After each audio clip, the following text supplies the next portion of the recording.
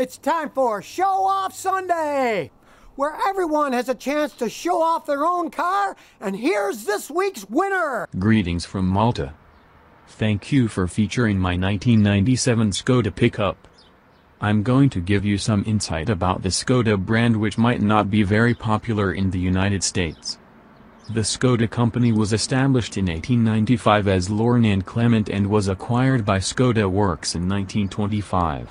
In the 40s the company was state-owned and it was privatized in 1991. Since 2000 the company has become part of the Volkswagen Group.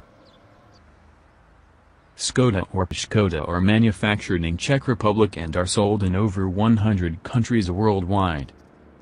This pickup is based from a car the Skoda Felicia hatchback.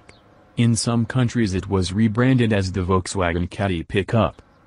The Skoda pickups used to come in three engine configurations, the 1.3 and 1.6-liter petrol and the 1.9-liter diesel.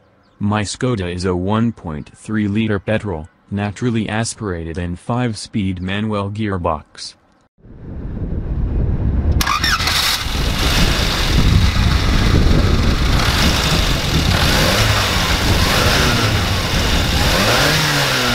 As soon as I bought my vehicle I took it to my mechanic to be checked out. We changed the oil and he noticed some oil leaks and gaskets need to be replaced. These are, the top cover gasket, the crank side seal gasket, the shifter seal. All gaskets costed totally 13 euros. The previous owner resprayed the body but not the truck bed. I intend to apply a bed liner to the truck bed and fabricate some sort of cover to lock any tools I need to carry. The spare wheel can be found underneath the body. The interior of the vehicle is very simple and old school and there is nothing extraordinary to point out. This vehicle has no power steering and since I had a shoulder strain, it was hard for me to park and therefore temporarily, I installed a steering knob. I bought this vehicle because I like pickups, but most of all because of its size.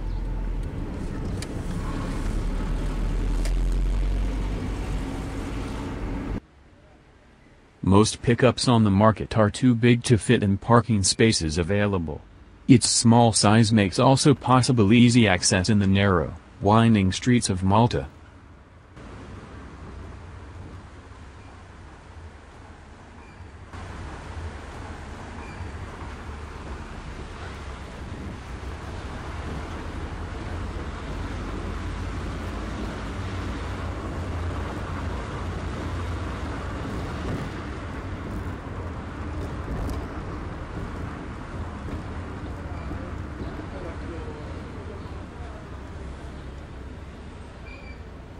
Overall I am super happy of having bought this vehicle.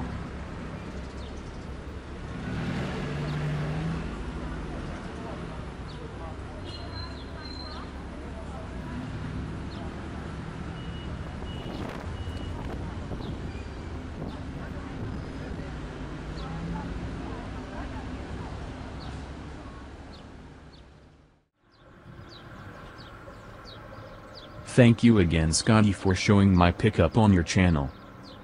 Well, that was this week's video, and remember, to have your car video highlighted here on my channel, check this out!